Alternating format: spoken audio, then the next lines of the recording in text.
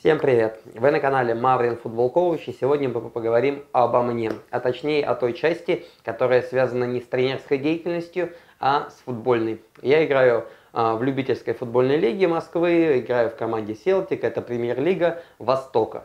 А, и сейчас я вам расскажу а, об одной из игр, которую мы сыграли в Лиге Чемпионов с командой ЦДК. Поподробнее обо всем, поехали!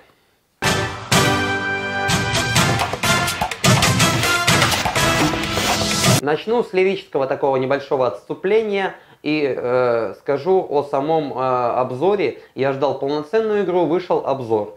Э, и о том, как он смонтирован. Я не профи, но я, и я могу убрать дорожку с голосом, к примеру, э, и сделать только музыку, дабы не было каких-то комментариев посторонних, э, которые не нужны в этом обзоре, мата какого-то. Поэтому тот, кто монтировал это видео, ну, тебе вопросы большие. Дальше, второй вопрос тому, кто монтировал видео. А где э, опасные моменты Селтика были? То есть в игре мы их создали, в обзоре мы их не увидели. Непонятно. Вот, поэтому отдельные э, вопросы к тому, кто это монтировал. Но это лирическое все отступление. Теперь давайте э, о самой игре. Давайте я вам расскажу немножко о предматчевой всей истории. А, мы играли последнюю игру группового этапа Лиги Чемпионов, играли с командой ЦДК, ведомой Алдониным и Корякой. Э, я считаю, что это два небезызвестных э, человека в футбольной среде России. А, и нам нужно было край выигрывать, чтобы пройти в следующий этап. А ЦДК нужно было не проигрывать. Собственно, с этим учетом мы выходили на игру, чтобы атаковать, чтобы забивать. Они выходили с осознанием того, что им самое главное сделать результат.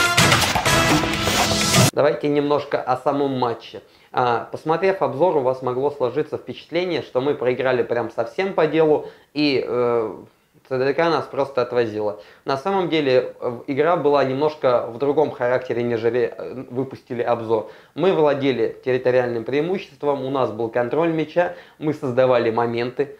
А, ЦДК делала вылазки а, в виде контратак. И, собственно, а, все моменты, которые они сделали, у них практически ну, 80% были на контратаках. Теперь, что касается а, игры моей лично. А, у меня было несколько моментов а, достаточно неплохих, один из которых вот он. Посмотрите, да, я начал атаку, и мне же отдали, я ее завершал. И, пожалуй, это был один из самых ключевых моментов, когда забей мы, и, возможно, все бы поменялось бы. Но, к сожалению, я не попал левой ногой. Но это не меняет дело, что надо такие моменты попадать и забивать. А, и в конце первого тайма Алдонин забивает нам гол, это было там за две минуты, а, из-под меня. Опять же, я не успел добежать. Вот поэтому не забил туда, пропускаем сюда 1-0. Все, спокойненько, скажем так, э, уходим на перерыв. Уходим на второй тайм, и, собственно, нам забивает э, Коряка. А, штрафной, которого, в принципе, не было. Вот вы можете посмотреть этот момент сейчас – и убедиться в этом сами, что ну нету, человек просто сам падает, а судья ставит штрафной. Ну и там дальше уже мастерство, конечно, и многолетний опыт а, позволили просто пулей вогнать туда мяч 2-0.